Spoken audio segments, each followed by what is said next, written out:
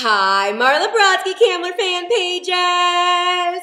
So, today on A Piece of Marla's Mind, I would like to talk about special requests.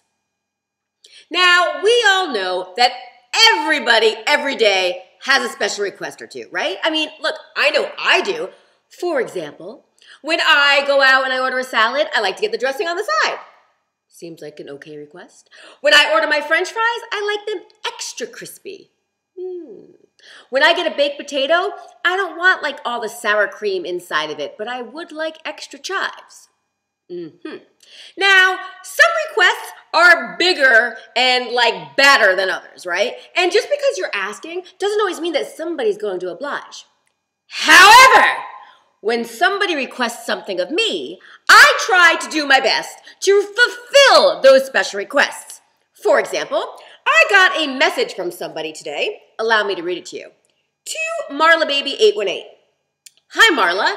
I sent you a message on Facebook. It should be in your others folder. My friends and I are big fans of your piece of Marla's Mind videos. One of my friends, Mercedes, has a birthday coming up this Wednesday, March 26th.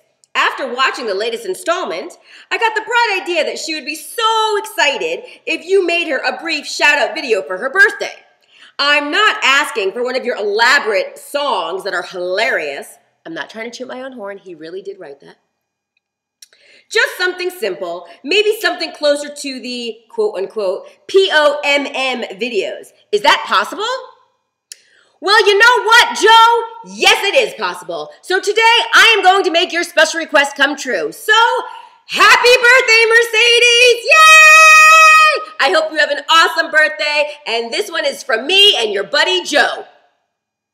And Joe, you now owe me huge, huge. And that was a piece of Marla's mind.